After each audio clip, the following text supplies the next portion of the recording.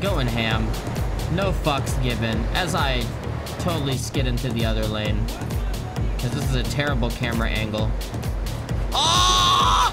No! No! Fuck me, dude! Well, there goes the loan and I'm banned. Sorry! Shit!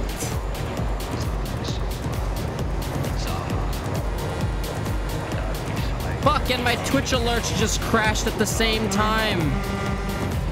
That was the worst